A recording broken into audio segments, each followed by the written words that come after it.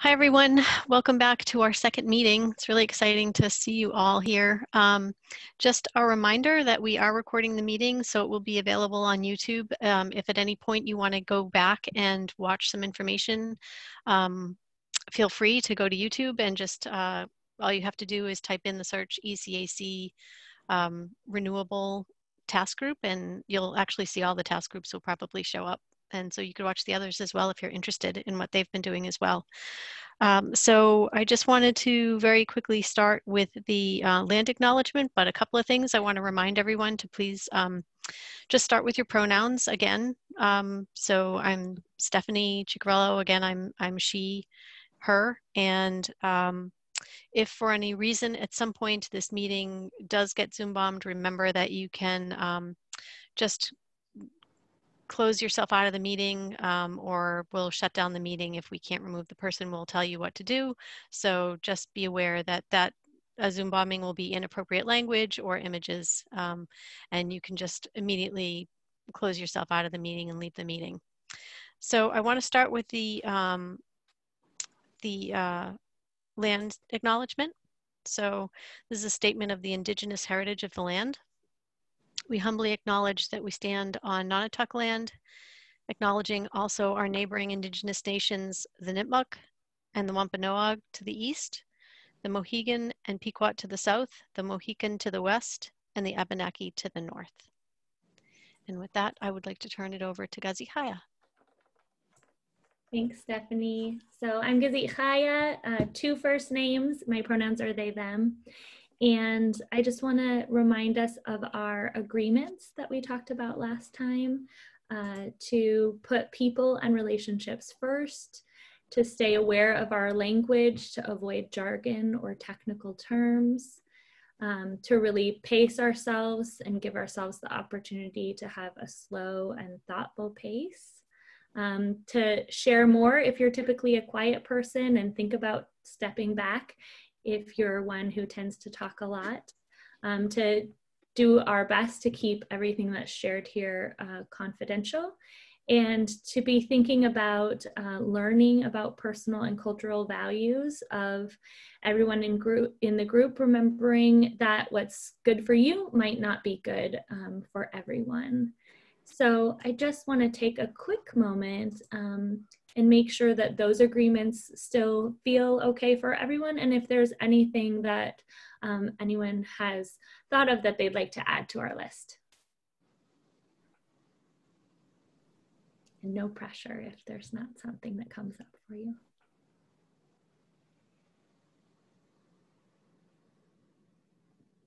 Okay, and if someone has something that they'd rather share um, in an email or one-on-one conversation, you can always reach out to uh, myself or Stephanie.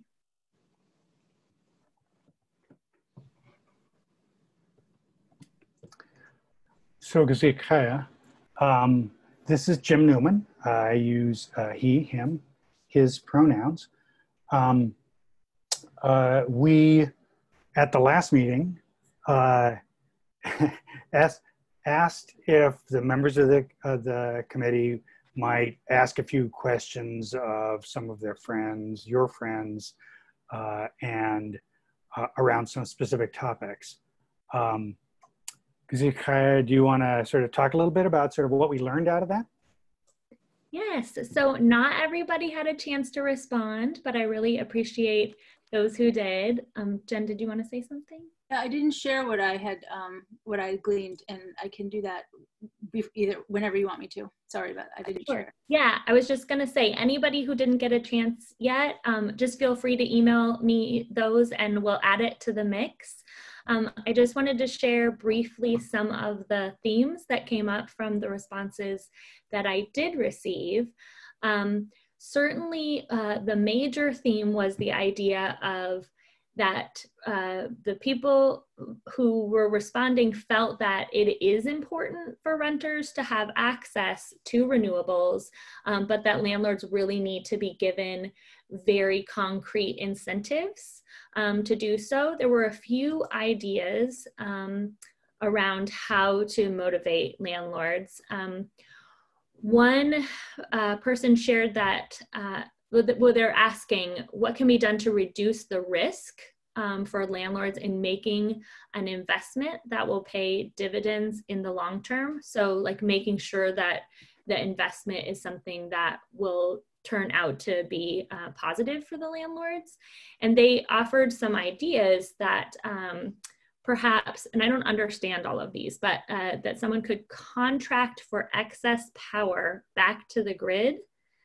Um, there was also a question of is collateral provided? And to me, that seems like are we, are we, there's another person who talked about subsidizing the landlords. So offering landlords some chunk of money to be able to make these investments. Um, and pretty much everyone talked about making the incentive or the motivation be financially related.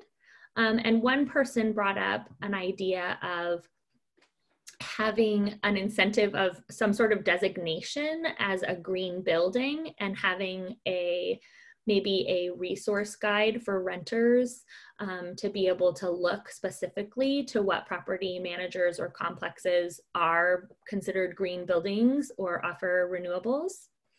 Um, and another uh, response talked about how the, the impact of the renters themselves and the community around uh, prioritizing and being excited about access to renewables would be helpful in influencing landlords. So um, did anyone want to uh, clarify anything that I said um, or add a little something? We don't have time for everyone to share, but maybe, you know, if there was anything that I said that you wanted to add to. I mean, I would just say that, you know, someone that I spoke with, um, there was just more question around, because I just want to clarify, you're speaking of solar, I mean, I think, yeah.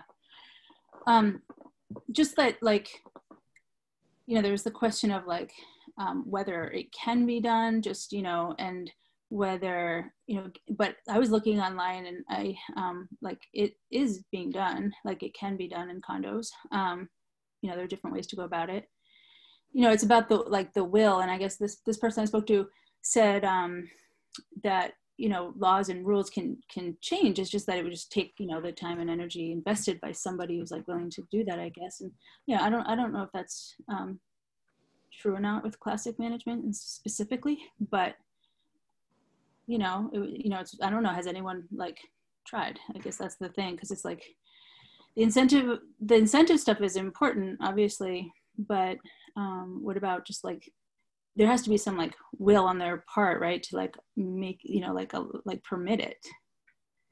Yeah. So that's kind of like where i was in the conversation with someone. Yeah thanks yeah. great. That's a great uh, great comment. And thanks uh, both jen Hezekiah, uh, for go, talking about those things and going through it.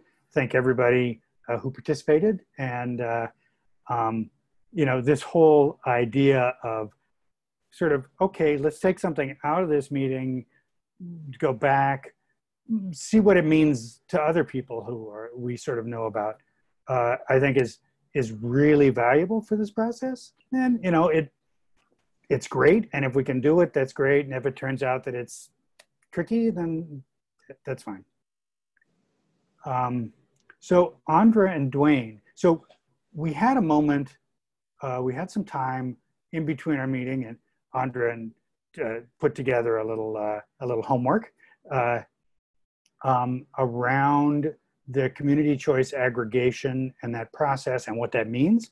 I'm hoping everybody got a chance to sort of check out that video. Um, Andra and Dwayne will do a quick sort of update recap on that information. Then we have an opportunity to ask questions if there are things you thought were interesting or things that were confusing. This is a chance to ask questions before we sort of dive into uh, the meat of the conversation for today, which is really kind of about that as a, as a, there are a couple of particular strategies around that. So Andra, you want to uh, jump in? Yeah, um, I think I'll just go through the slides and people can ask questions as as I go. Um, that's all right. Um, How much did people get to see the um, the video? Is that something that people got a chance to check out? Yep. A Few here and there. Okay, great, awesome. Um, so it's a um, pretty basic um, introduction to the idea of uh, community choice aggregation. Um, aggregation is buying the electricity in bulk. Choice means choosing the source according to our preferences. And community means uh, that we're in control of the money. We decide the rate, we collect, we, we get the money and um, from, from all the customers that are in our, our group. Um, and it's going to include Northampton, Amherst, and Pelham. This is something in process that's um, being worked on. And yeah, Gazit Chaya asked, is there an analogy? And I, the, you know, this, this is an idea of, you know, a fundraiser. You buy food in bulk, you, you choose to support a local grocery and um, everybody buys the food at the rate you choose. And the funds go to, in this case, our own um, choices for electricity. So this is how the whole idea got started with residents and then um, the town officials and we've been working for two years. Um, so the, I'll just say again clearly, this a CCA does not mean you're becoming an electric utility. We don't take over the lines. The Eversource still does all of that line work and um, provides the electricity to the homes. But there's the supply that we're able to, to purchase and sell. So, and just by the way, community choice energy is the same thing as community choice aggregation. So if you pay an electric bill, this is something that might look a little familiar. There's a supply charge and a delivery charge. And again, the CCA um, sets the rate for the supply and gets the money from everybody in our area. And then the utility still gets the delivery charges. Um, and there's different levels of green in um, CCAs. And the one that we are aiming for is CCA 3.0. These are made up really, but um, the idea is that, you know, the more you localize, uh, the, the more democratic um, it can be. And um, one of the ways it's going to be democratic is that community members will serve on an advisory committee and be um, represented by one or more members on the board, which is spelled broad. And um, then also the other idea is that you don't have to go out and buy your own renewable energy. You will get more renewable energy in your electricity because we're all collectively purchasing more. And it's been a long process, but right now we're writing a plan, an agreement for the three towns, and um, we'll once we have the plan written, that will go to um, public review and we hope that you'll all be part of that. So I didn't let you say anything during that whole time. Tell me if you want me to go back to any slides um, or just ask questions.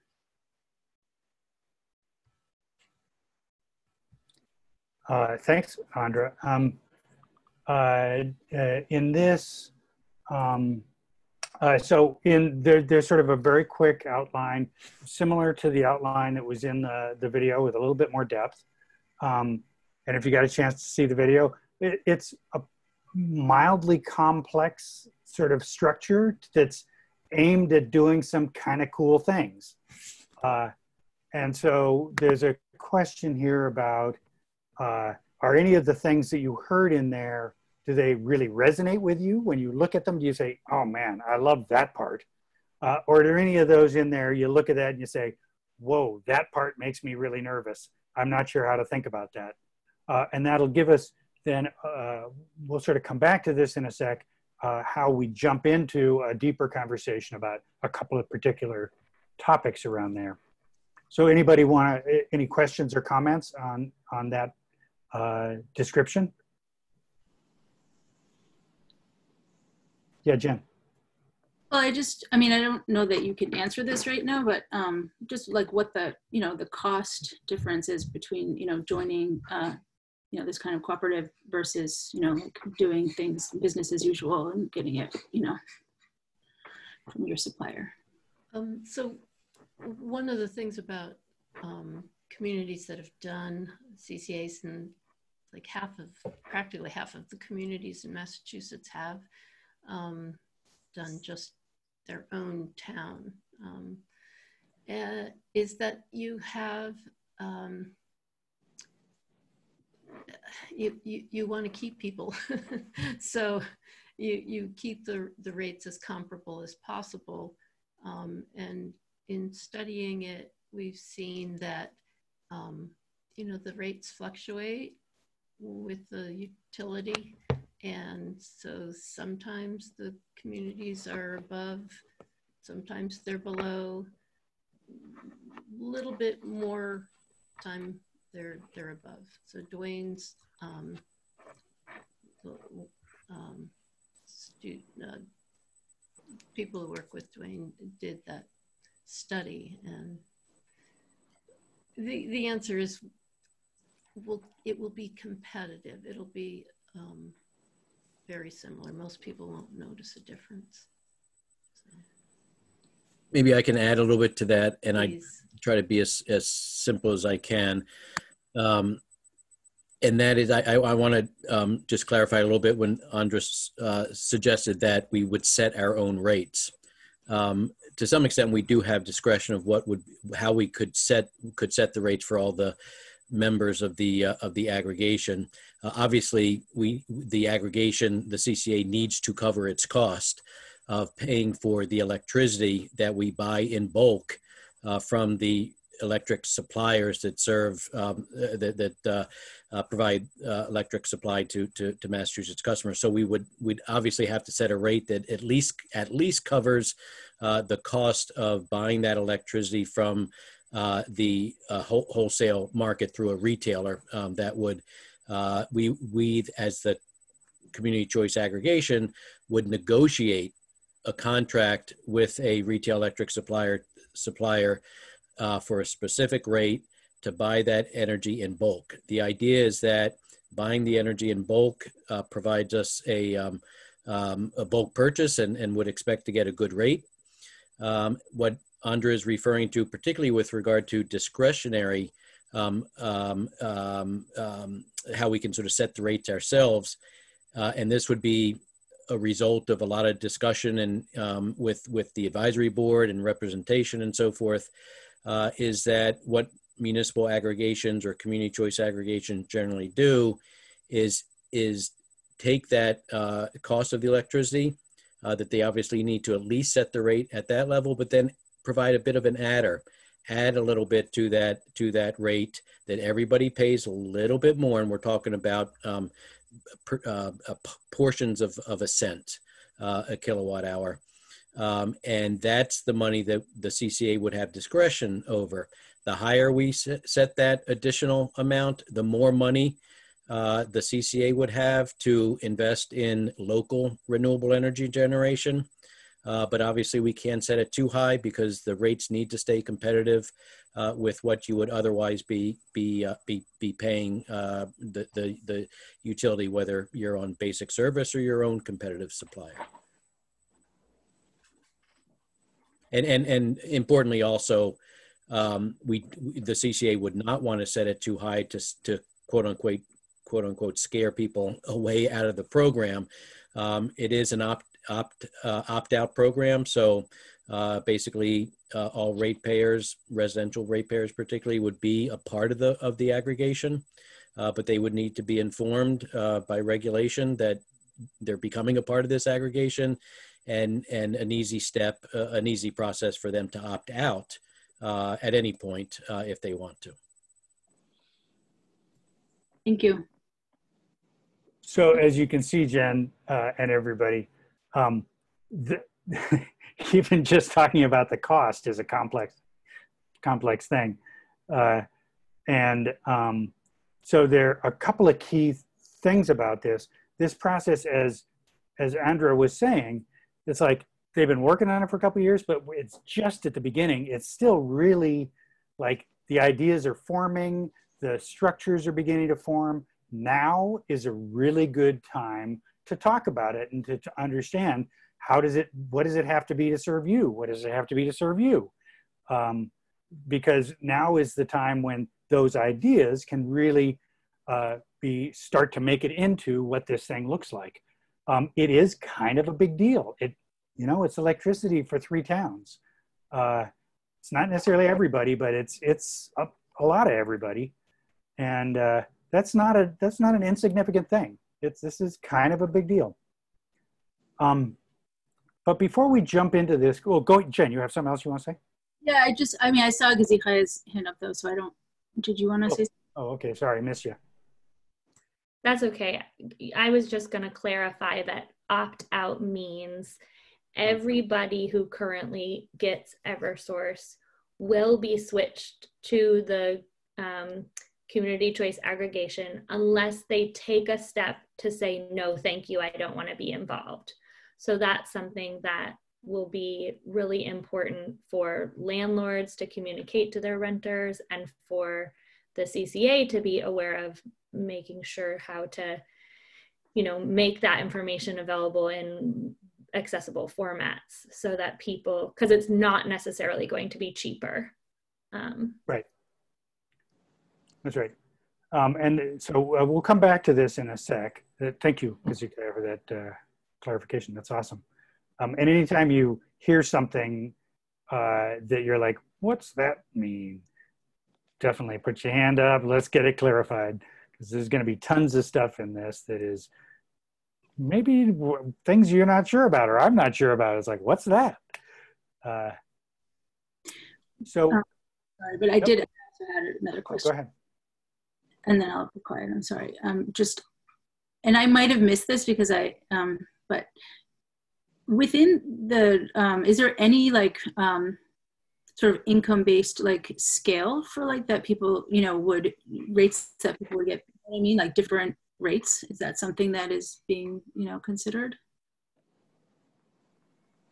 in this process, in this planning process? Do you understand? Uh, yeah. Um, what uh, what we'll be able to do is um, funnel the money to projects that we choose. And so we can funnel it to um, in ways that will benefit um, people with lower income if we want to do that if we if we you know have enough money to go around at the beginning it's going to be a little bit tight because um, we'll, you know, we'll just be getting started. We won't have a accrued, you know, and built up a lot. But um, whether we can actually change, um, set a different, eh, like not everybody having to pay into the adder. I'm not sure. It's very legalistic,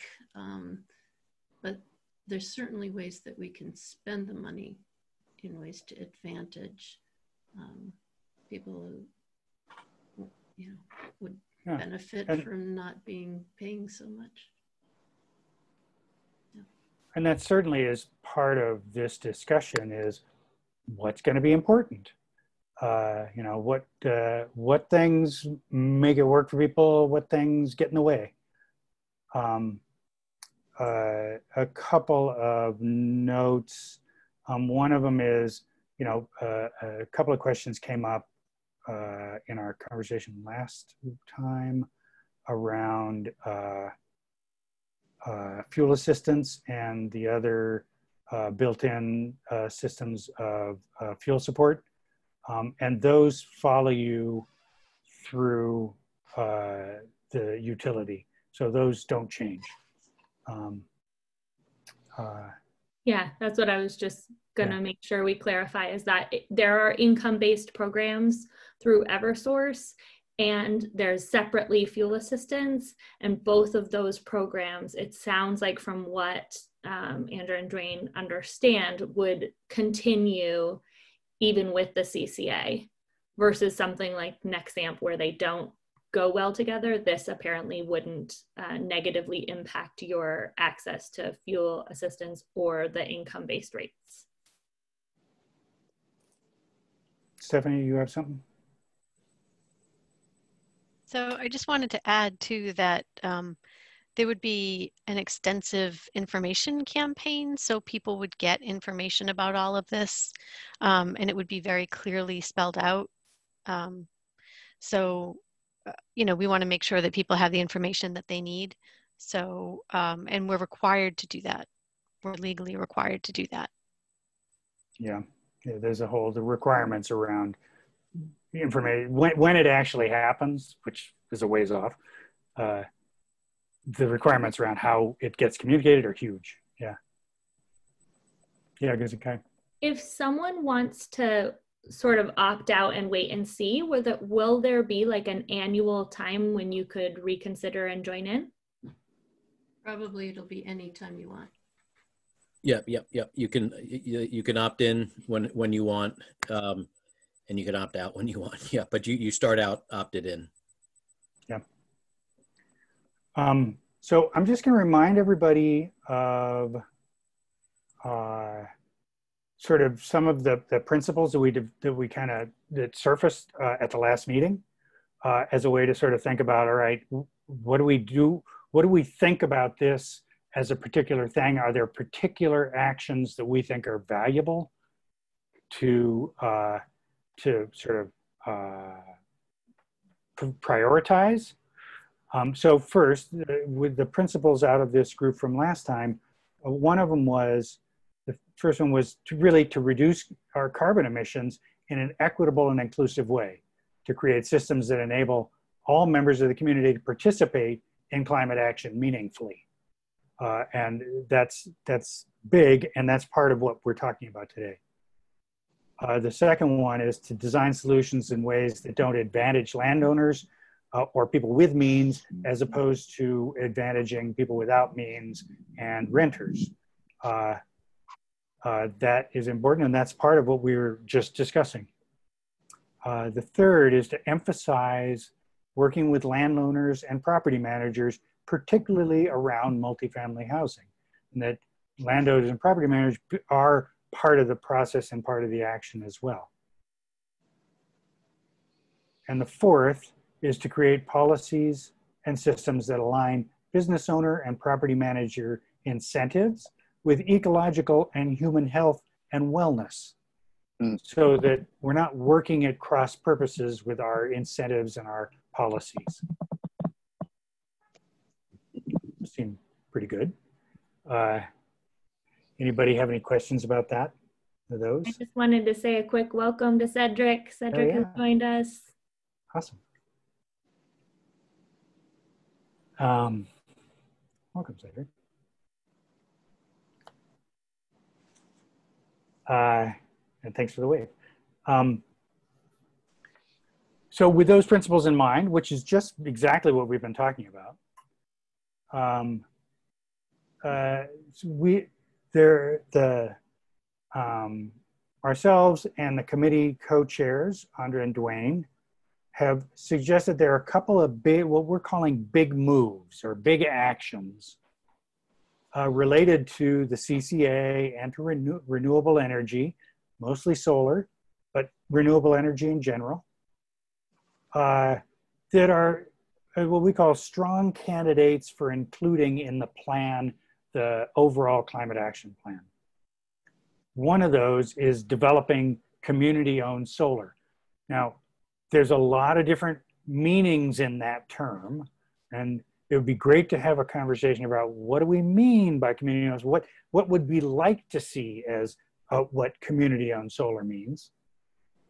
Um, and then the second is um, the, the idea of buying uh, renewable energy from outside of the town of Amherst or outside of the three town area uh, versus developing it locally.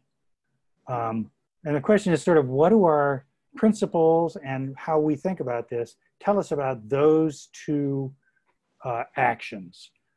Um, so I'd like to start with the idea of community-owned solar um, and just say that, you know, one version of what's called community-owned solar is that uh, the town develops solar projects, which they've already done, but develops new solar projects. Uh, and so the, the, the solar project is owned by the town, the energy is owned by the town, and it feeds our, you know, potentially uh, our process or it feeds the grid in general. That's a version of a community owned solar project.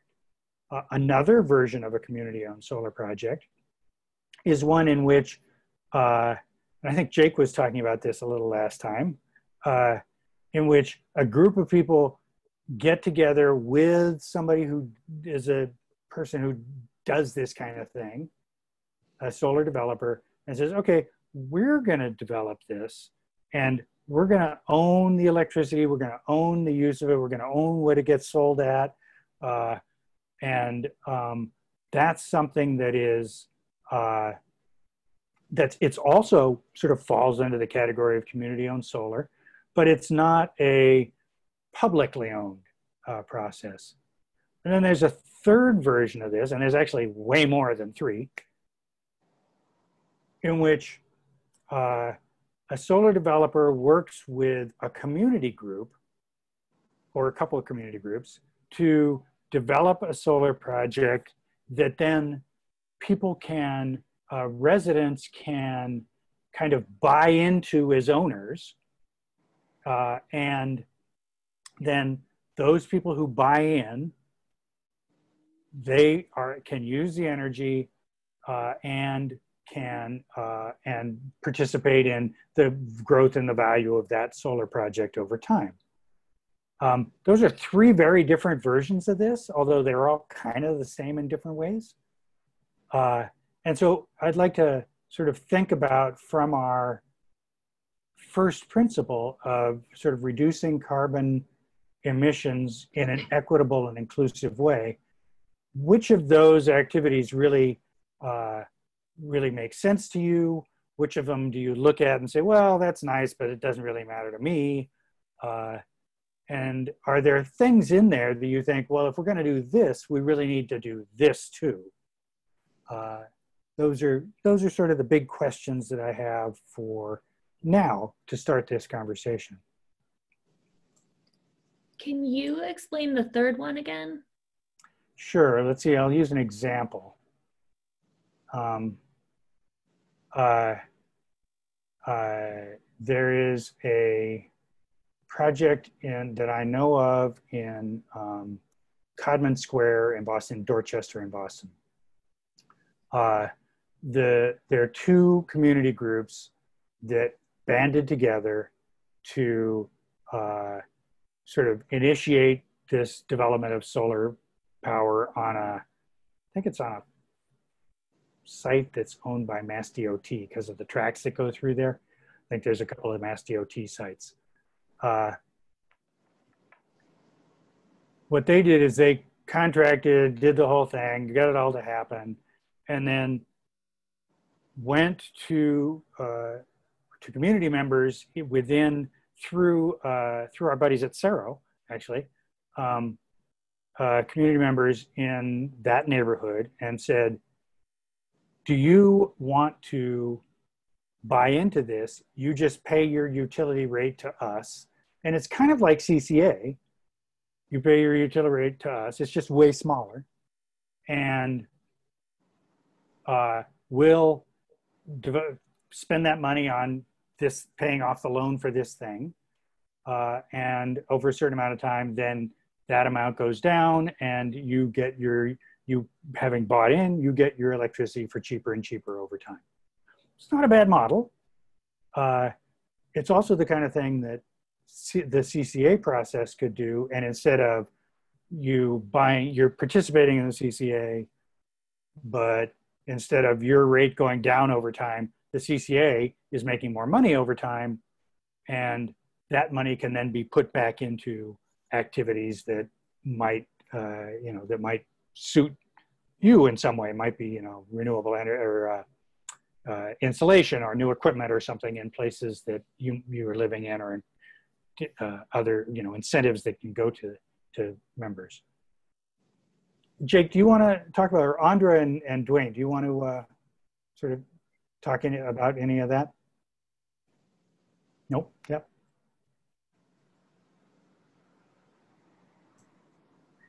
Jake, yeah. Go. Um, I don't have as many specifics about the CCA, um, but I'm, I'm very, was really happy and encouraged to watch the video and know that this process is underway. Um, I love the idea of local ownership um, and eventually then those local projects as well. Um, ultimately, Eversource is a publicly traded um, New York Stock Exchange company that's paying uh, probably a lot of uh, you know high salaries and such, which is ultimately coming from the ratepayer. So um, I, really encouraged to know that this is um, where uh, the local community is heading. And I think back to, um, I should back up, my um, preferred pronouns are he, him, his. Um, my, uh, your question about which of those scenarios is more equitable, I, I think it's certainly the third one. the first one is, is certainly more equitable than that second scenario that I was explaining last last session we had. Uh, so I, I I think Dwayne and Andra will have more specifics about the CCA. I wanted to um, offer that input. Um, and I also had a question, the same question as Jen. So I think that that was a good question earlier about the um, different levels of adders or off takers based on perhaps consumption. And that could be if they say, for example, a business has a high consumption, perhaps they have a, a reduced rate or maybe even a higher rate because they're ultimately um, taking uh, or using resources. So similar question as well. Thank you. Jake, just so you know, we're having a little bit of trouble with your audio. I'm not sure why. Um, it so it's a little bit muffled sometimes. So I think we got most of what you said, but just so you're aware. Thank you.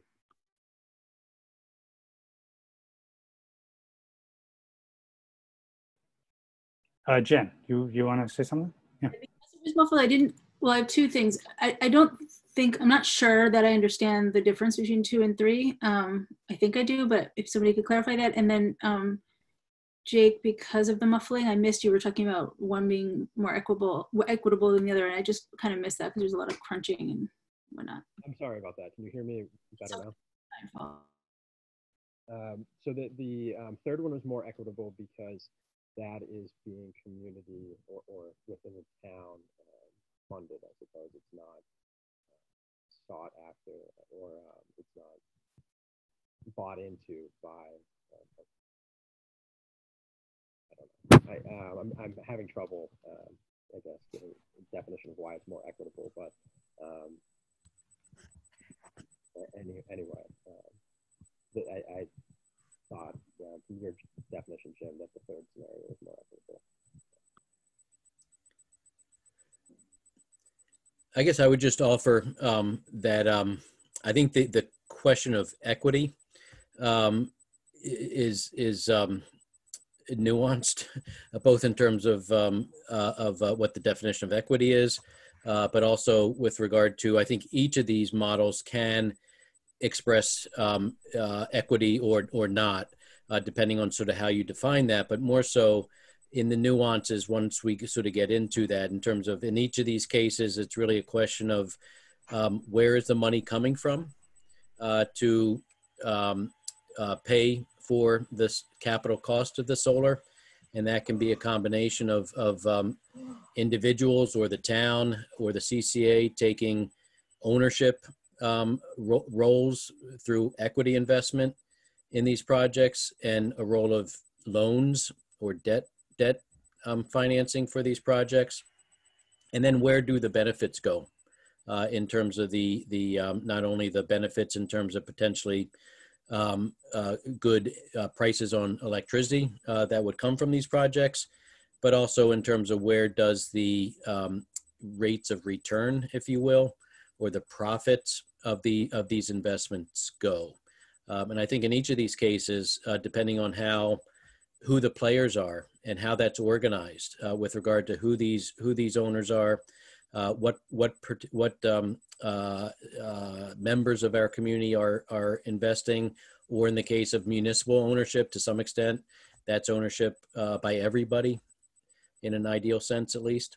Uh, so I think um, I think in each of these cases, there's um, the the, the the issue of of equity and the distribution of those costs and benefits uh, really gets into uh, more details of of um, uh, of, of the um, specifics of, in each of these cases. Kazika? Can Can I just clarify? Um, so right now we're talking about different ways to have local solar panels, right? And we're talking about that because we want to think about with the CCA where we buy the solar from, whether it be some solar field or I don't know what they're called, um, somewhere else, or if we want to try and have our own source of solar right here and ha- and now now we're talking about different versions of how to go about that. Is that correct? Mm-hmm. Yeah, and kind of the the reason to do that. Uh, yeah, go ahead, Don. Uh, you need to unmute yourself.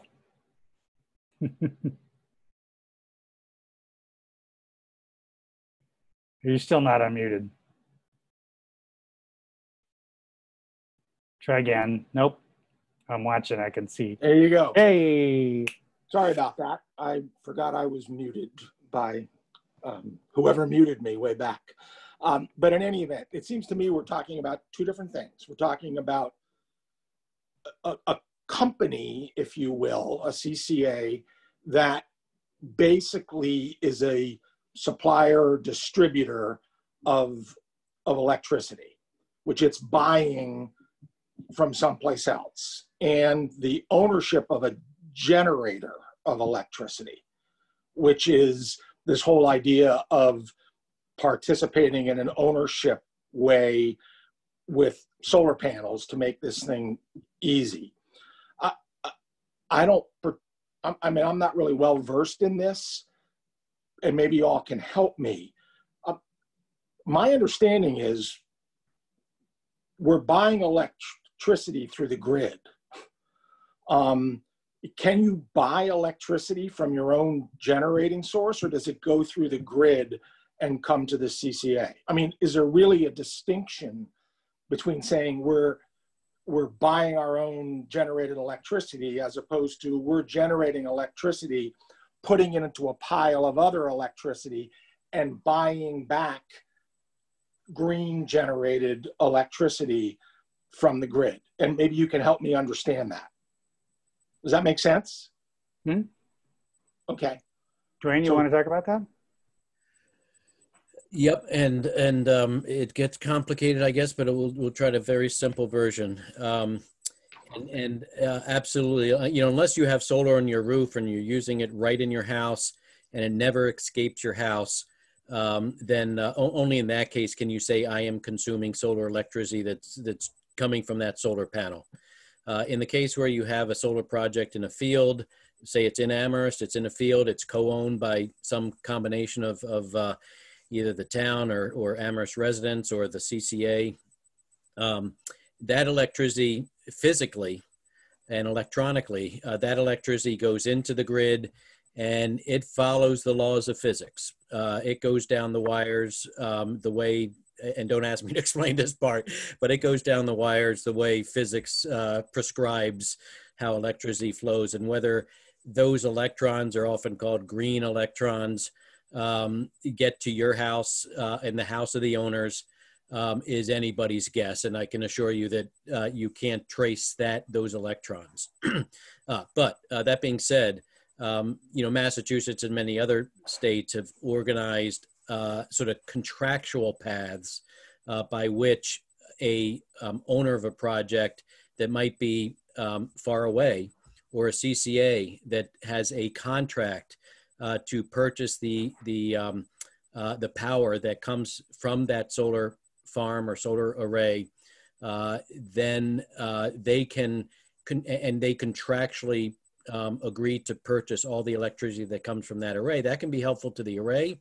Uh, and then the CCA can also um, take claim uh, to uh, providing their customers with uh, power coming from that array.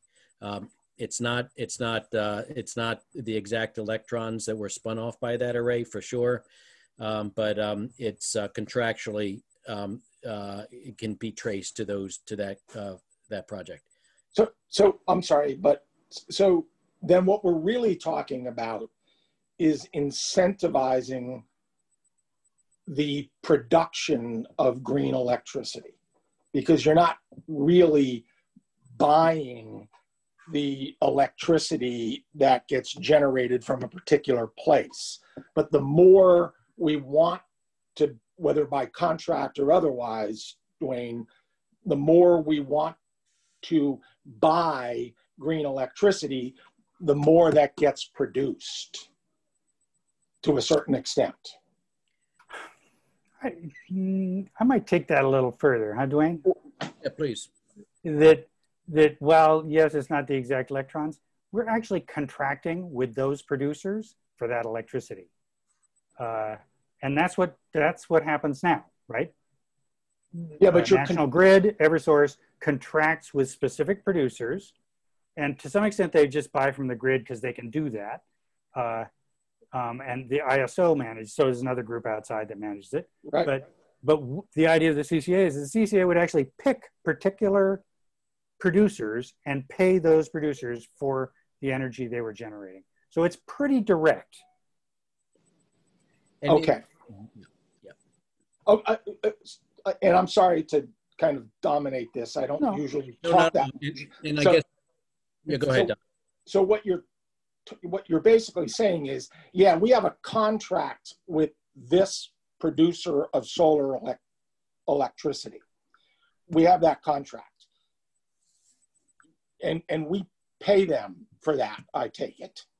Um, however, the electricity itself goes through the grid, and whether we get that electricity actually or some other electricity because a lot of it, as you were saying, Dwayne, depends upon peak times and what plants are running and what plants aren't running. And and I happened to do an investigation into a um, a power plant in Agawam. So I, I mean, I understand ISO and I understand the whole piece. And I don't mean to confuse things.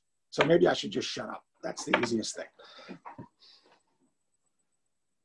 Yeah, so there there's ways to help green the grid.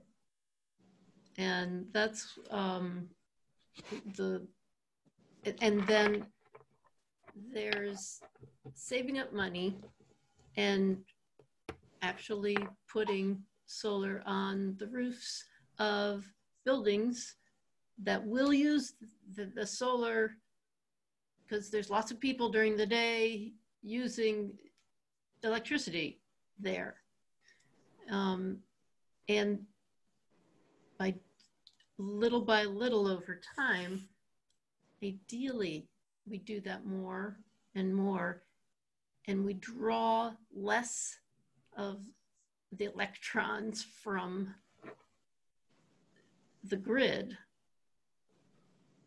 So, in a way, that is creating a community resource because collectively we're, we're taking less, we're, we're having to purchase less from some other provider elsewhere. And the more we can do that, um, you know, eventually perhaps we can have little microgrids where a few buildings can share the electricity that one building that has a good roof for solar um, actually produces. Those, those are the kinds of creative ideas that, that excite those of us who've been working on this for a while. Yeah, and and you know, as as it's become clear again, uh, this is a complicated little world, and it's very regulatory driven. But what we want to try and do is get to the parts of the this process, which it's it's very tricky to do. Get to the parts of this process that are uh, that actually affect us as people and what do we care about in terms of the parts that affect us as people? Um, Gazit Chaya, did you have something you wanted to say? No? Yeah? I had, after, oh, okay, Dwayne, yeah, go ahead. Gazit Chaya. Yep. I was just going to try and clarify again to Jim's point. I'm feeling a little lost in the weeds here. Um, but is am I understanding it correctly that um, that I there's sort of two driving forces. One is to um, use cleaner energy, which is better for our health and planet and all that. And then another is to try to move away from dependence on outside, like like almost like local food. Like if we can grow our own then we're not so dependent on someone far away to grow our food. And so we could take care of ourselves better. Is it a little bit like that in terms of energy? Like if we were able to be in charge of our energy here then if something happened in the rest of the world we could a little bit better take care of ourselves here. I think those are important um, attributes and values that um, clean energy and distributed energy can um, help to address. Um, um, but what I what I think the other perspective I wanted to bring to this and to get to sort of Don's point, but I think also uh, Gazit Chaya's point, the other way sort of to, to, frame this or look at this is that um, there is um, expectation that the Commonwealth, through all of its program programs and policies, will be moving to 80, 100% uh, renewable uh, electricity generation by 2050 is sort of the, the time frame they're talking about. In Amherst, we want to uh, sort of be a leader and do that quicker. Uh, so to some extent, um, uh, you know, we could just sit back and say, okay, well, the Commonwealth's going to take care of it, and uh, we'll be we'll be green by 2050, and and we don't really have to do anything. Um, the issue that I think this ownership issue really gets at is that um, obviously, uh, and we'll talk about solar uh, just as an example of renewables. Um, a, a, solar project in a field owned by a third party um, um, is wonderful with regard to re, uh, reducing our greenhouse gas emissions and addressing climate that we all um, are, are, uh, are critical and is, is we care about. But it's not really that different than a power plant economically uh, and in terms of the the welfare and the the um, economic value to the community, it's really not that different than a than a coal fired fire power plant in Holyoke. Um, it sells electricity at, at, at, the rate it can get, um, and all the profit rates of returns and so forth accrue to the owners uh, out of out of uh, uh, community and probably out of state even uh, owners of, of many of these uh, solar projects that are being developed now typically uh, financed by Wall Street uh, capital. Uh, and so um, the idea of local ownership is not only to um, uh, address and, and, and contribute uh, and potentially even accelerate the contributions to uh, reducing um, carbon, addressing the climate issue, but also to recognize that this clean energy and, and distributed energy being sort of small, small energy as opposed to centralized power plants really opens up for, for the first time really in the in, in our electricity sector opportunities for what we refer to as sort of energy democracy uh, where um, individuals and local organizations can take more control and decision making uh, with reg- and ownership uh, of their power production uh, because it doesn't take um, what it takes to build a centralized power plant uh, which you know uh, citizens of a community aren't going to take that on. Um, and so it, it's really uh, i think a lot of this is really about how does um, amherst um, and, and, and the cca uh, in this for northampton pelham and amherst uh, really want to look at this uh, with regard to how can we not only capitalize on the greenhouse gas mitigation that solar and renewables will provide, but also an opportunity uh, to keep the not only keep those uh, uh, keep that economic value local, but also in a way that would distribute that value equitably across the community. Dwayne, that was lovely. Oh, thank you. and, you know, who would know? Dwayne's a revolutionary. well, we, we all are. We're trying. That's awesome. Zikaya. Thanks. That was great. So if I were talking to other like uh, community members who maybe identify as low income or BIPOC folks, what would be ways that like questions that I would want them to know to ask um, as this process is going and what would I want to tell them are ways that that we could get involved in making sure that we're a part of the conversation about where those you know rate levels are set that they're not too high that it's gonna um, put people in jeopardy and um, you know what are what are the questions that we need to be thinking about? What are the ways that we can get involved to ask those questions? Great question. I'm gonna hand it back to you guys. Andra. Um, one of the things that will probably be offered is um, opt up options. Those will be more expensive. Those will be um, ways for people to purchase more of the greenness uh, of the of the um, supply and you know that's something that that people will need to be very well educated about so that um, no one pops up without understanding you know what it's going to cost them. Um, we might have um, you know everybody will be at uh, you know 25% of their electricity coming from renewables um, based on what we contract with the supplier. So that would be the basic. And then um, pay a couple, you know, a couple cents more and per unit of electricity and you, you can get 50% um, or all the way to 100%.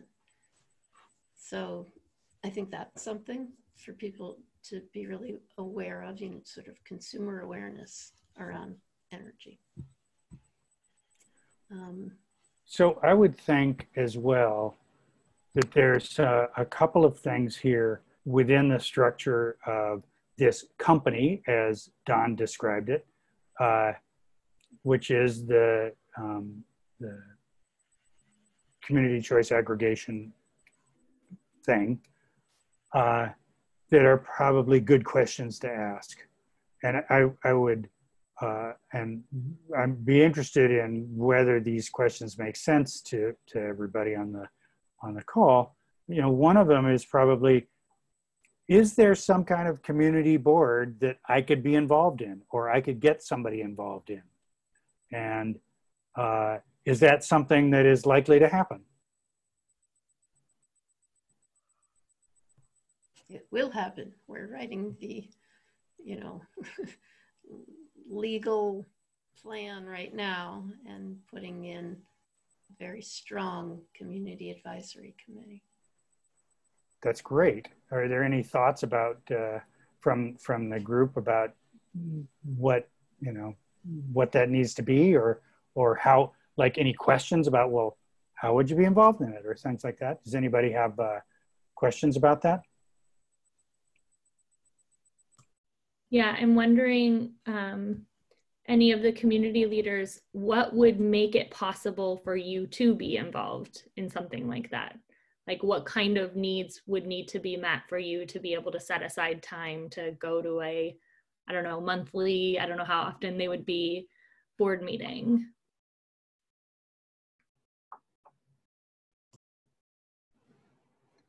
I think um, specified time, um, just, you know, uh, say it's two hours semi monthly or something like that, one night a week. Um, so specified time.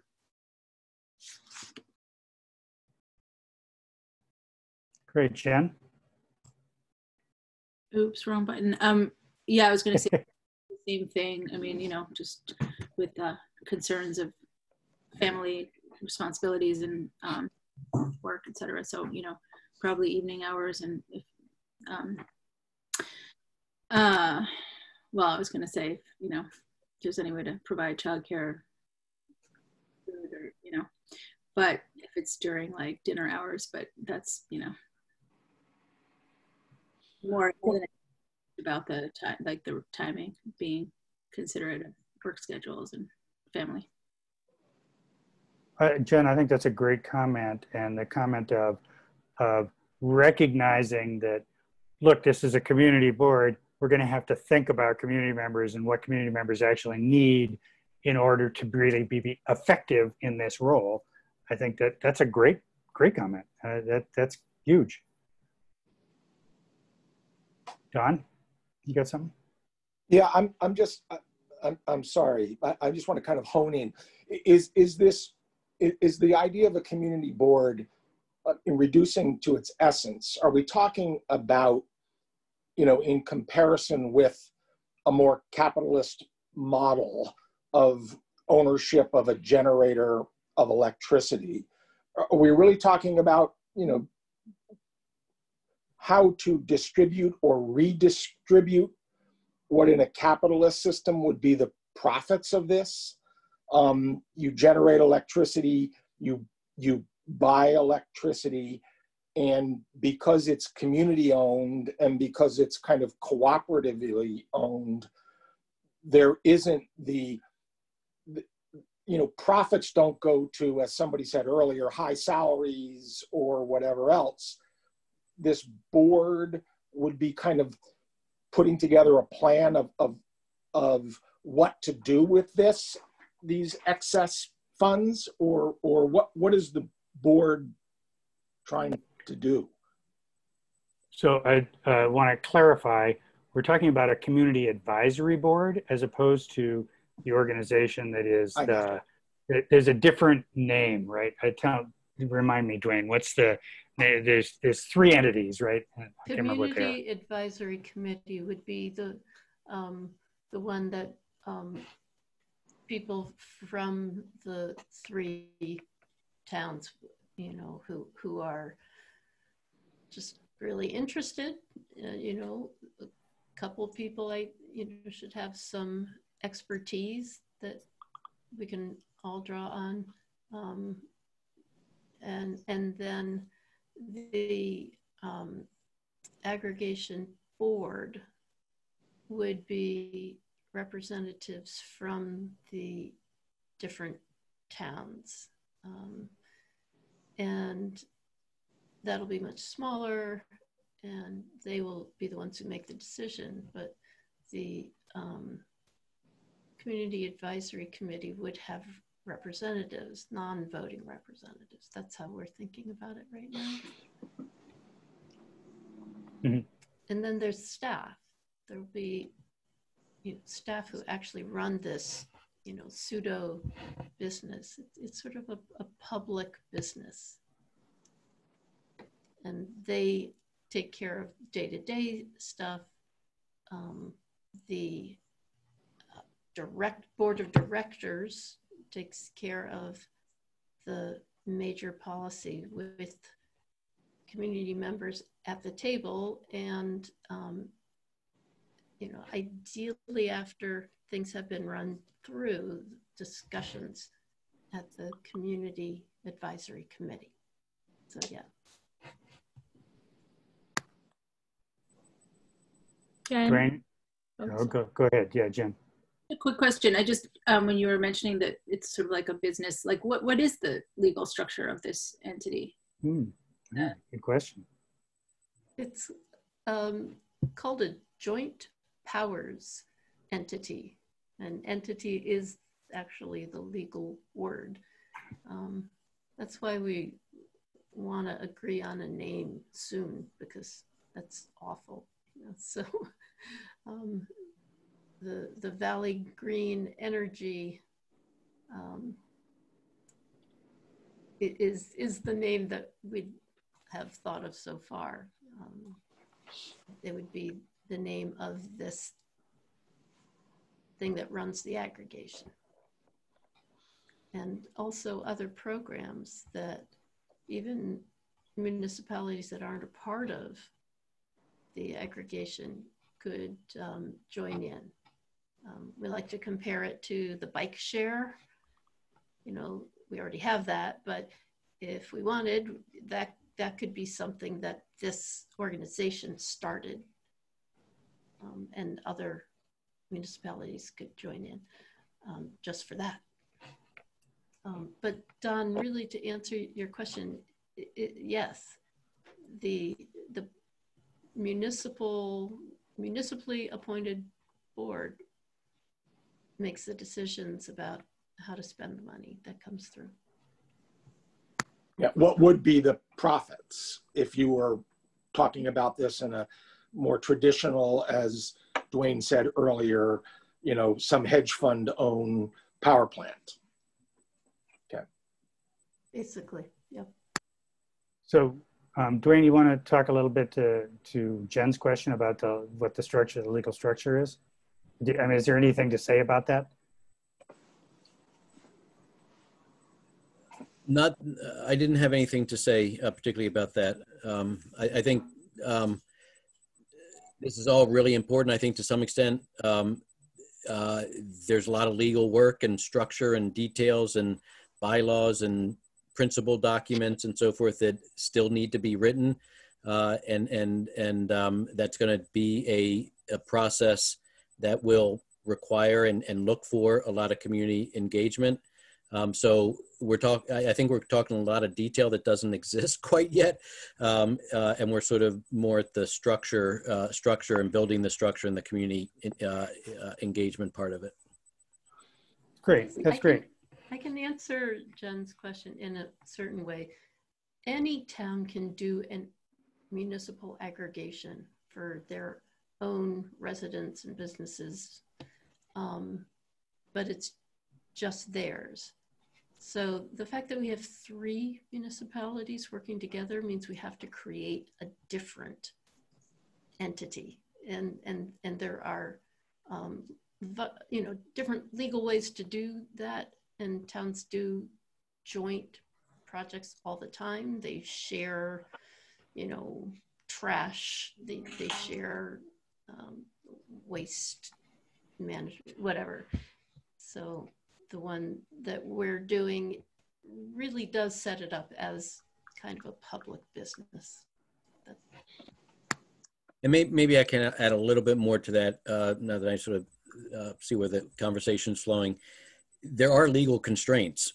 um, municipal, uh, uh any any community can develop a municipal aggregation, but it needs to abide by the rules and regulations of the Commonwealth that define how to do a municipal aggregation. Um, and so, for example, uh, we would not have a, a discretion to um, arbitrarily set these adder values in, uh, uh, above and beyond the, the electricity price. Those are need to be reviewed and approved, and, and limits are put on to those by by uh, by by the Commonwealth and in this case the Department of Public Utilities. Um, similarly, um, there needs to be um, clear directions for citizens to opt out of the program and information uh, distributed about the program. Um, we're also constrained by legal uh, issues with regard to, and this really comes up uh, very much in solar ownership.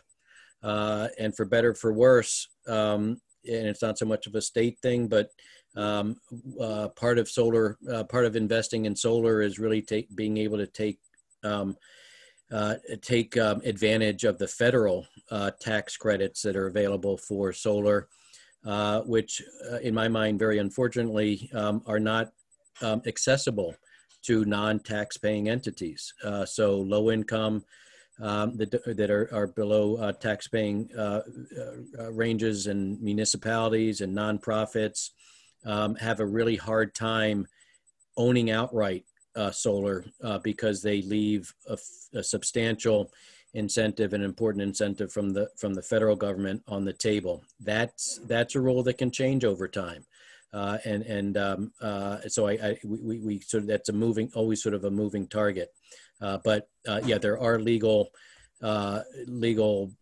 limits and boundaries and, and constraints on how this can move this this will be able to move forward. And I, yeah, and, yeah, yeah, that, that's it. Yep, thanks. I think that's, I think that makes sense. You know, it's, it is a, it's a sort of, we got a bunch of regulations, like everything, right? We got a bunch of regulations that we have to live in. And uh, this happens to be a pretty complicated world. And so the regulations are relatively complicated. Uh, and that's why, you know, that's why a staff that does it. That's why putting together the documents is such a wrestle and it takes so much time. Uh, um, because you got to navigate all of that in a reasonable way that gets to the things we actually care about, as opposed to sort of the general way things are done. Um, um, I do think that uh, one of the things that Gazit Chaya brought up about, um, so the first question was about sort of how do you get involved? What is it? What if you care about this? How do you get involved? How do you get involved? Which you answered beautifully. Uh, um, and the the second uh, was around sort of uh, understanding uh, the value that it brings uh, um, and and the value that um, that you need it to bring. I think so. I uh, you have a different way of asking that? You had, you did a, a much better job than I did that. Um, I'm not sure about that the value piece but i guess i was just trying to wrap my head around like you know sometimes the main goal is to make something more affordable or sometimes the main goal is to make something more um, accessible. So i was thinking in this case it's not affordability. There maybe is an accessibility piece because i think i'm hearing dwayne saying for folks who might not have been able to tap into a renewable energy source, this would give them a different option if they don't have access to those uh, federal grants or whatever or incentives. Um, and I could see how, from my perspective as a renter, if I'm never foreseeing being able to put up my own solar panels, then if the town does this, it can give me a way to participate in renewable energy, which I would like to be able to. Um, so I was trying to identify like what's the why are we reaching towards this? Um, and then uh, one question I had about the getting involved piece.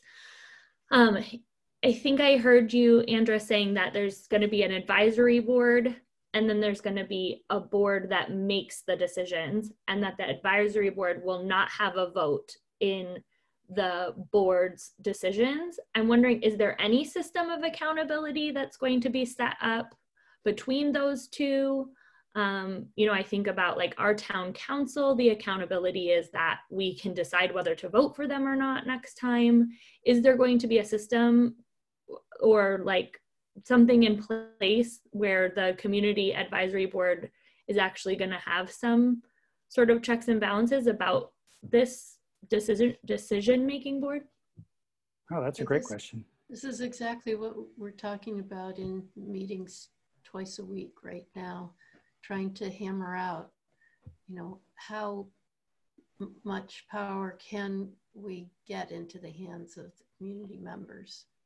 And um, it, it's, it's an interesting problem, but um, in some ways, being at the table is maybe more important than being the one who votes because you can steer things that way. And we might be able to agree that there's three or four members from the community advisory committee on the board of directors as non-voting but participants so that the issues can come up and really be worked out.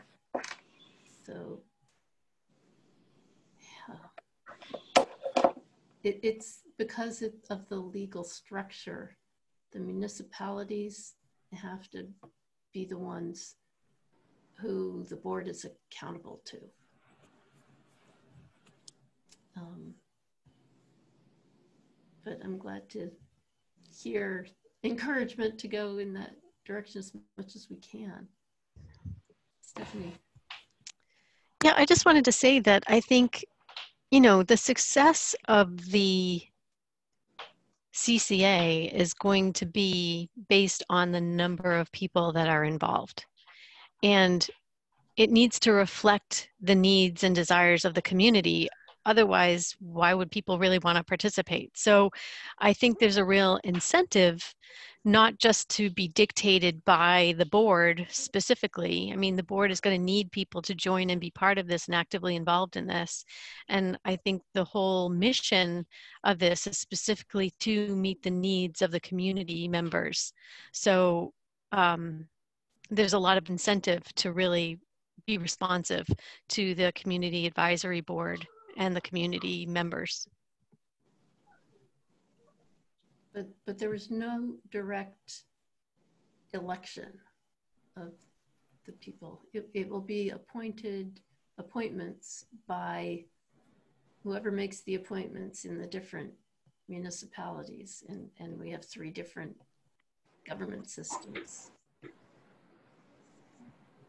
And what would be the qualifying criteria for the people who are getting those appointments? I don't think we know that yet, right? So we have some, I mean, we've identified some things, but none of this is finalized. Yeah, we're talking about it right now. Did we just lose Stephanie?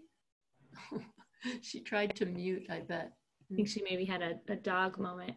I'm curious, um, Cedric, Alini, or um, Jaden, or Jen, just what like thoughts you have about the concept of being at the table but being a non-voting member and uh, how that how that could work or not work.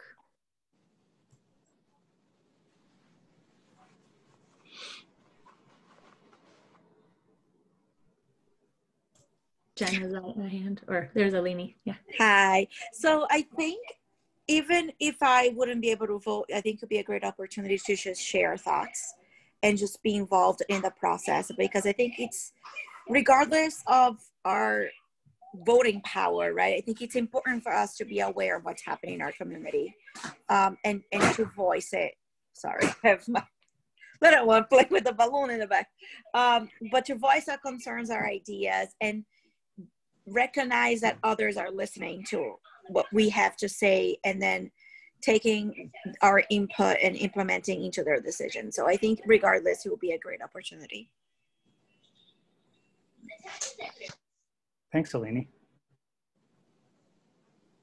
Yeah, Jaden? Um, yeah, I definitely agree with what she just said. Just like being a part of it and being here, just like even not having the voting is definitely like enough for that. Thanks, Jaden. Awesome.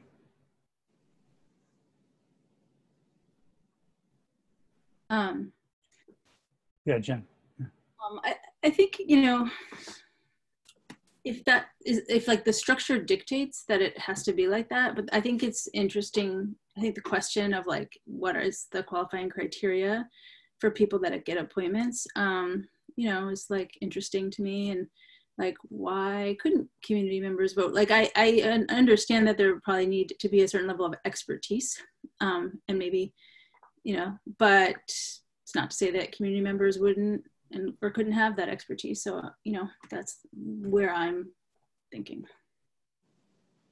Well, one of my hopes is that um, people who with an interest would start out with you know joining the community advisory committee and learn and and become an expert you know i didn't start out as an expert at all i was just a resident who thought this was a cool idea and spent the last three years kind of over my head and trying to understand it all.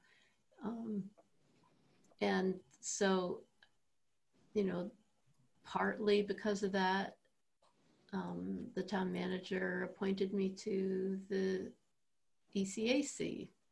And the manager would be the one to appoint the directors as well. So there's absolutely no reason that um, you know someone without professional expertise couldn't be on the actual board of directors. And I, I hope that you know there's sort of stepping stones and that we do a really good job of educating people and bringing more and more people on who represent a lot of different parts of our town than usually get represented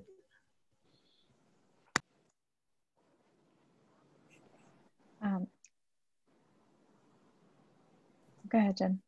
No, I was just going to say, you know, thank you. I, I, like, I like that vision, and I think um, that feels um, to me like more equitable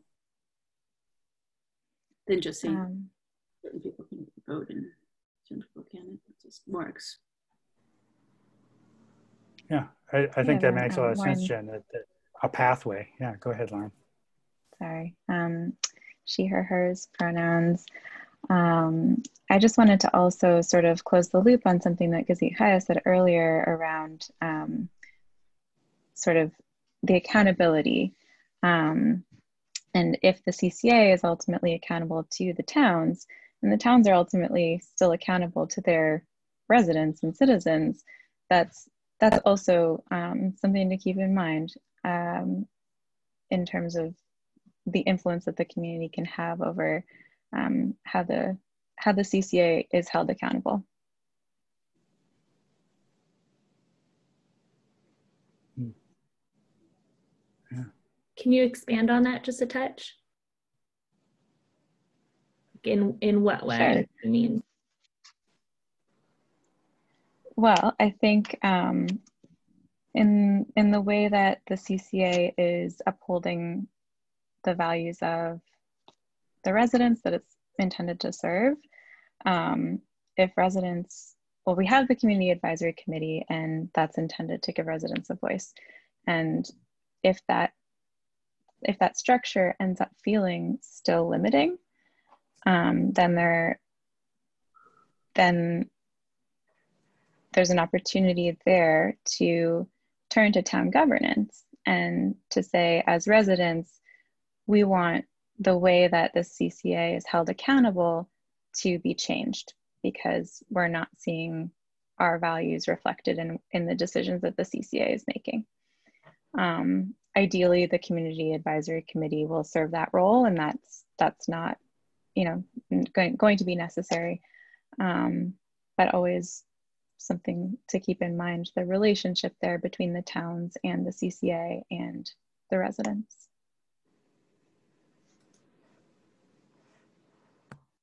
I can tell you something that we um, have been talking a lot about on the in the little subcommittee that's working on the agreement among the in the governance questions, um, and that's you know, it's a core part of the idea is to reduce the greenhouse gas emissions from our communities. And if we, you know, we imagine other communities are going to want to join us, um, and how do we keep that commitment to both to equity and to the greenhouse gas reductions um, so that it, you know, it, in most places, it's not a green option. It's, you know, it's, that's not what they're trying to do at all. So we're using it as a tool um, to be able to kind of pay for itself and raise money to be able to reduce our greenhouse gas emissions. So we don't want that to change in the future. Um, and so the citizens, the, the residents are going to be really key to helping make sure that continues. Um, mm. Our values are reflected in it. I just wanted to share real quick. Um, Stephanie uh, somehow got bumped out and is trying to get back in, but um, is unable to. So, um, I, Lauren sure De La Parra, you are host. Yeah, I don't see her so on go the attendee to the list. attendees list. Go to attendees. There's panelists and attendees. Yeah, she's not uh, in there as an attendee. She's not in there. Yeah. Oh, okay. Because Ikaya is also a co-host. Yeah, she said that. Um, yeah, but the co-host can't do it. Okay. Yeah, she said that it should not affect the recording and that we should be okay for the remainder of the meeting. So her mm-hmm. apologies. Thank you. Great. Yeah. Shout out to Darcy, who's an attendee. Oh, yeah. Hi, Darcy. Oh, good. Awesome. I haven't been looking at the list, so I'm uh, fantastic. Um, uh, Dwayne, you had something you were going to say? I'm sorry. I... I'm actually, uh, Andra just beat me to it. I was just going to um, also uh, indicate and disclose basically that, you know, one thing that the, um, this agreement amongst Amherst, Northampton, and Pelham uh, is working on on drafting is really really important, uh, really to articulate um, not just the mechanics of the uh, CCA, but also the, the vision and the priorities um, and the principles associated with the CCA. And as Andra mentioned, uh, really, um, um, you know, two primary things in addition to, you know, maintaining uh, reasonable rates for everybody um, is um, greenhouse gas reductions and equity. And those are important, as Andra, and I was going to say, but Andra beat me to it, is really important because um, it is important for people to recognize that um, there is a vision for this uh, CCA to expand over time uh, to neighboring communities. And we've had, or at least other communities, and we've had discussions about what what would what would what what would be acceptable uh, what what in terms of other communities joining us uh, what would be acceptable for them to join us without diluting uh, the vision and the priorities um, and the principles that we have. So that document is going to be really important um, in my mind. Um, and um, uh, I don't know exactly the process of which that agreement is going to be hashed out and drafted and whether that agreement itself might be open for public um, input. We can certainly run some ideas by this group we're really trying to get it completed in the next month. That that mm. would be, I think, our goal. Mm-hmm. Uh, Don, you were trying to say things a few times and did not. Nope, you're good. Nope, I'm good. okay. Um, so this is uh, this is this is a great conversation. Um, the um, the sort of really understanding, you know, the questions of like exactly what this is and what that is are are we're not really the, the group is not really there yet. Uh, what they really are at is what's important. what matters in this process that we put together? And I think we've started to answer some of those questions from this group as to participation matters, uh, potentially pathways to being in the decision-making matters. Uh, maybe uh, Andra has suggested that uh, um, how, uh, sort of what criteria might towns need to uh, or you know what values might towns need to sign up to in order to join the participation if it starts to get wildly successful? Uh, those are i think are great questions. Um, uh, does anybody have any other sort of thoughts about what those sort of kinds of things that are founding issues might be? Ah, stephanie's back. Hey stephanie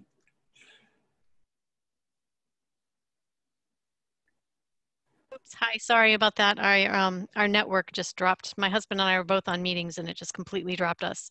There's a lot of storms going on around us, so I apologize. And because I was the host, it really wouldn't let me in. It wanted me to end the whole meeting. So No. the trials Yeah. of Zoom. So I'm sorry I missed probably a whole lot of great conversations. So apologies. uh, I'm glad you're back. It was all recorded. Yes, we've got it. So Exactly. I'm good. I'll watch it later. Uh, so I, I'll, I'll, I'll sort of ask that question again, which is we've identified a number of really great uh, values and and ways in which we'd like to see those values uh, um, upheld. Are there other things that might be important as well within uh, sort of for us? Other values that might be valuable or might be useful, uh, or things that like does this really cover this um, that uh, that people would like to uh, like to bring forward at this point? This is a really great uh, a great conversation.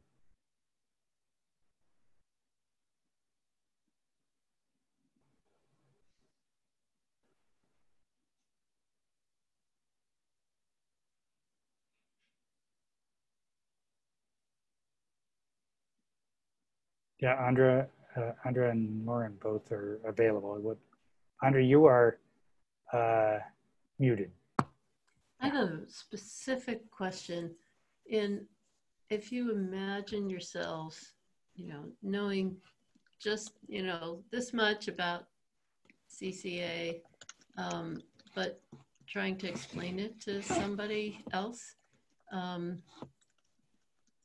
is there like one of the pictures and the slides that was particularly useful? you know, if we are going to start spreading the word about it, we want to be able to provide some, you know, visual. And I wondered if we have created anything so far that you saw that was particularly important to your understanding of it.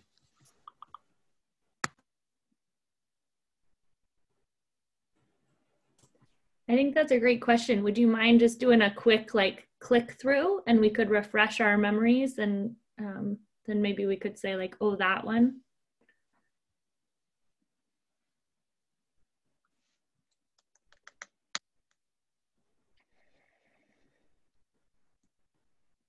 starting at the tail end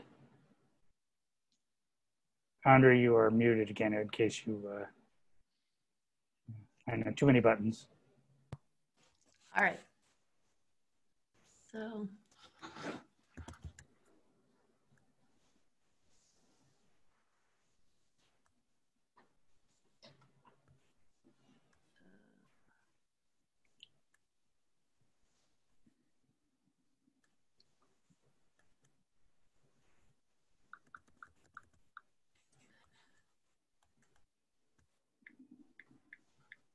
That's about it. community leaders, do you have any thoughts? Uh, I, I think that um, the hands holding up the, um, the solar panels is a strong image and um, and the one and I mean you're you're talking about and um and, and this one I think it is um,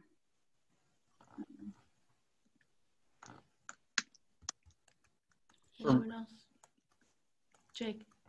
I was the slide after this one, after the utility bill. Yes, this slide that sort of um, cemented things for me um, off of what the vision is, the long-term vision of the uh, community or committee effort. Hmm. That's great, and I think Dwayne was was so articulate about energy democracy and kind of what that meant uh, about both mm -hmm. community participation in the process and you know in the sort of at least advising the uh, decision making process as well as uh, you know the the money staying within the money flow staying within the community and uh, and uh, and supporting activities that uh, the community gets to decide what should be supported. Um, I think those are those are pretty compelling, and that energy democracy slide I found to be pretty uh, pretty great. Lauren found that graphic. Did she? Oh, uh, no wonder I liked it.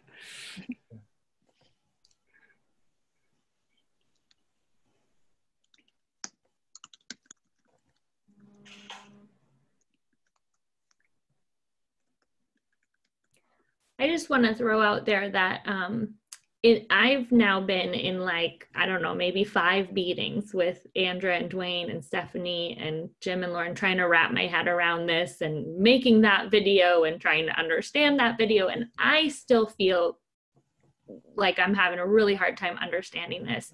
And I've heard both Andra and Stephanie say that that's common, that this is a very um, dense and complicated topic.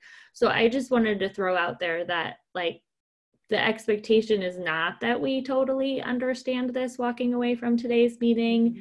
The expectation is that we would just get a little taste of it. And from my understanding, the, the idea of why we want to get a little taste of it is because the town is going to be working on over the next chunk of time getting the community connected with this idea and supportive of it um, because they feel that it's a good thing for our community. So this is a start just so that we have something to ring a bell, you know, when we start getting some of this education and information that's going to be sent out and that um, that we definitely, you know, everyone in this room can continue discussing and talking about and asking questions about this outside of this meeting in whatever way feels right to you and um, and there's a piece too that like the more questions we ask even if we feel a little stupid when we're asking them the more questions we ask the better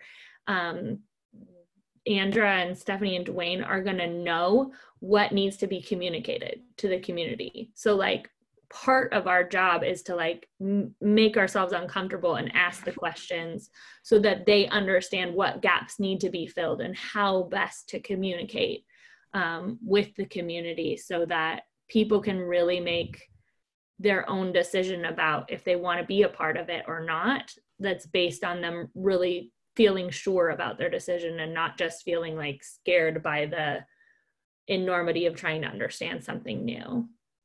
And i would say that this is not a topic for anyone to feel stupid about asking more questions because it's not it's not obvious to anybody nobody. Like i mean even the people who work in the industry it takes a while. There's a lot of layers to it.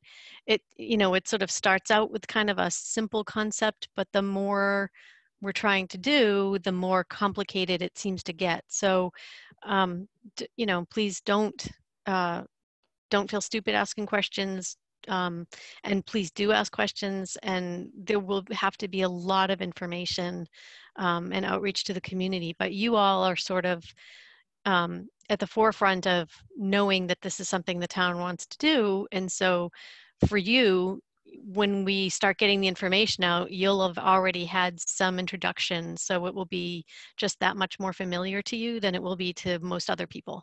So you'll actually be ahead of the curve. And we can be ambassadors you know sharing with folks as it comes up what we've already learned absolutely or we hope you will be yeah so andrew you were saying that you're hoping to have sort of all this sort of fleshed out a little more in the next month. Like, what's the timeline? You know, approximately. Um, like, when is this going to be sort of, uh, you know?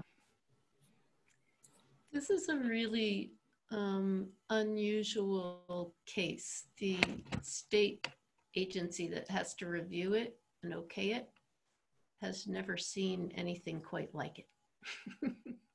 the the things that we want to do have been um, done in pieces by different ones, but not all together. So it's probably going to take them a year to decide. And I just want to add to that, Jen, that we were in a meeting today with um, a legal firm that helps communities get this through the entity that approves it. And one example that they used of a community just doing it on their own with something very simple recently took a year and a half.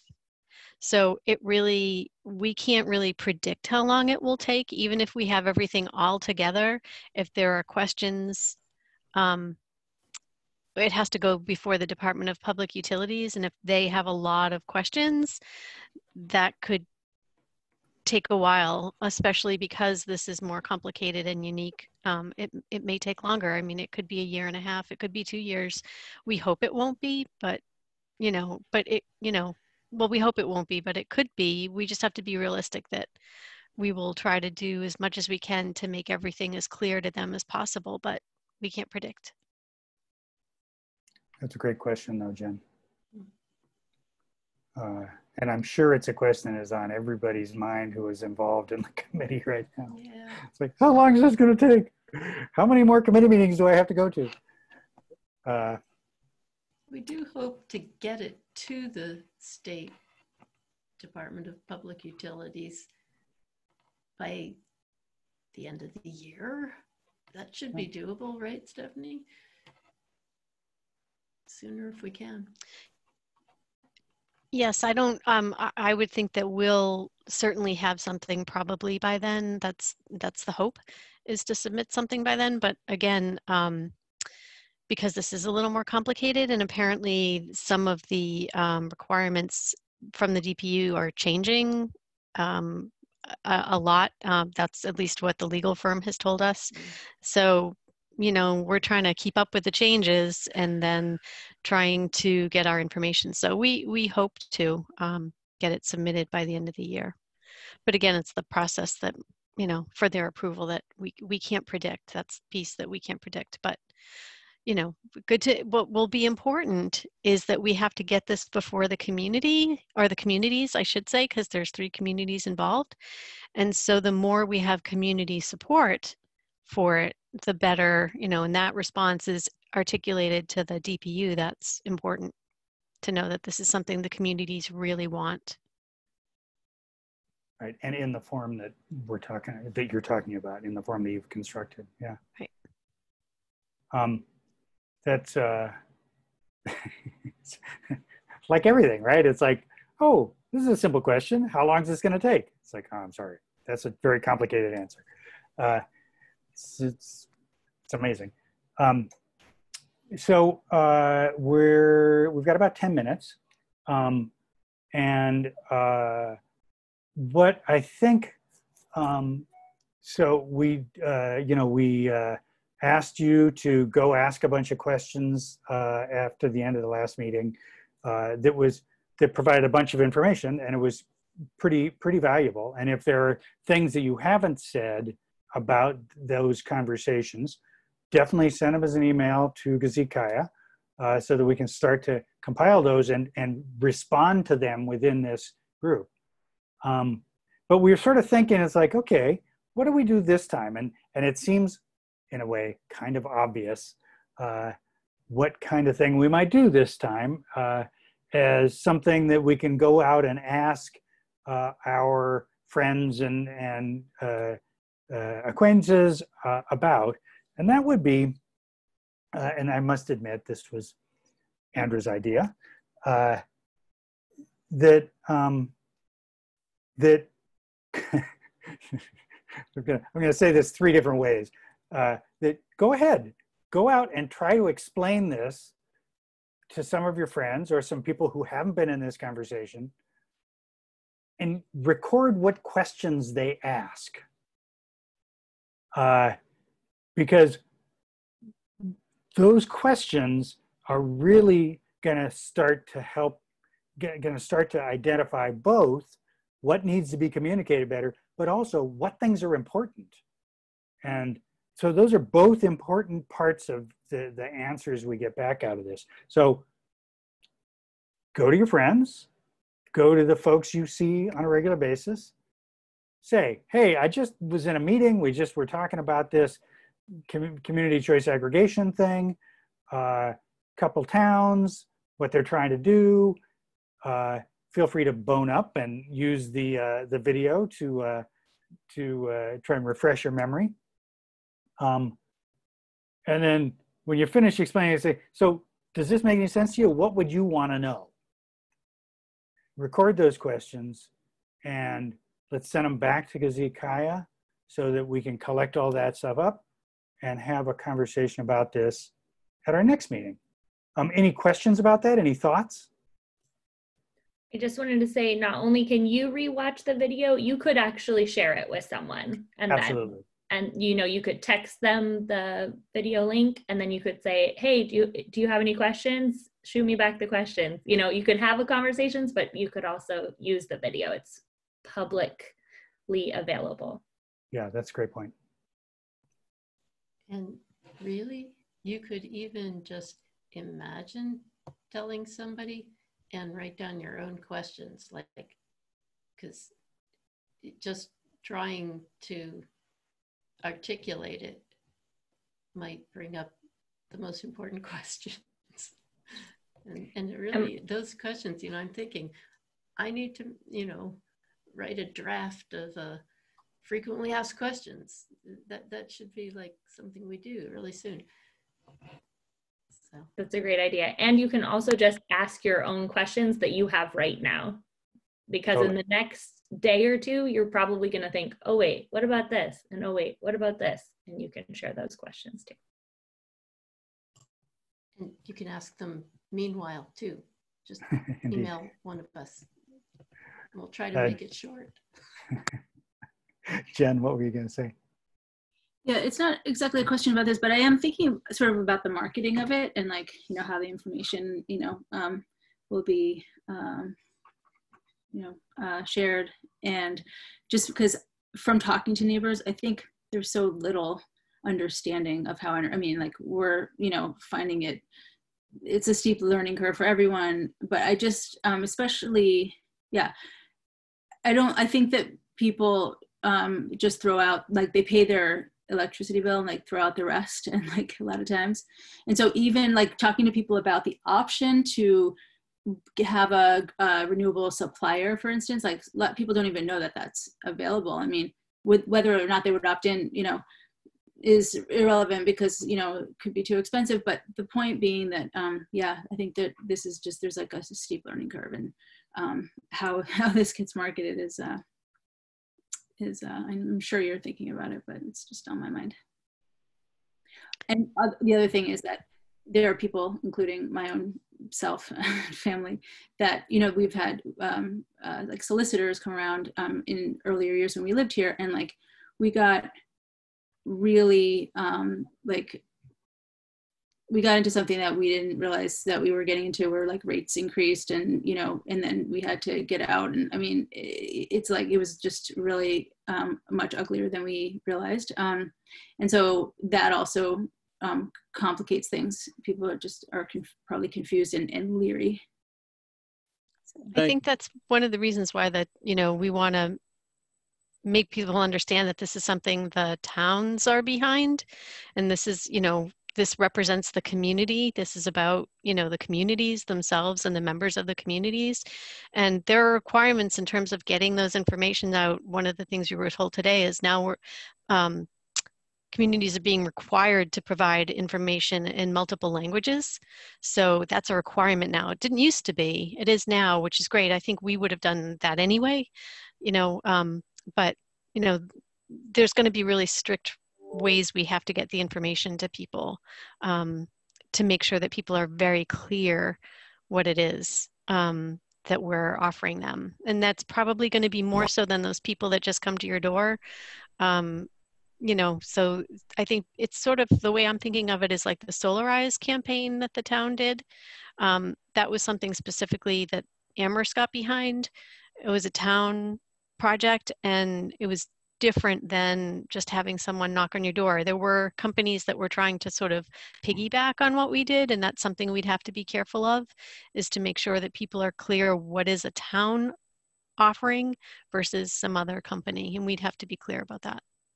Can I just add to that as well? Because uh, I think it's really important differentiation uh, between um, people that knock on your door or or or, or send you uh, uh unsolicited um, stuff in the mail or give you a call, quite frankly, even on your cell phone, it seems like um, uh, offering you these, uh, you know, competitive retail electric suppliers and a, and a municipal aggregation.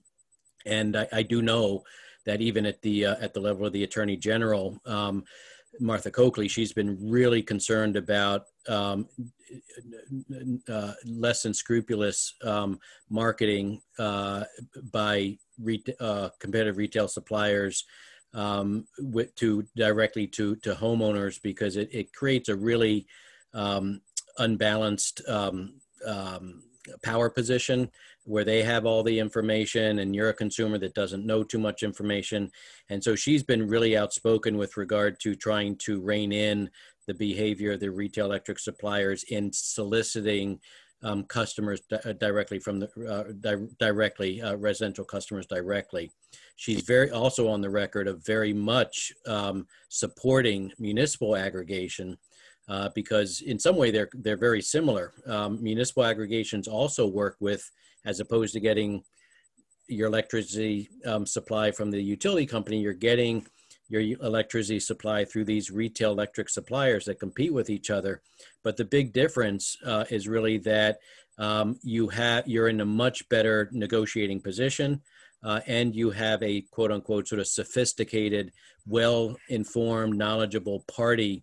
Uh, negotiating and and and uh, um, uh, uh, entering into these agreements with the with these retail suppliers, than um, in the form of the CCA, uh, than um, uh, than individual residential customers.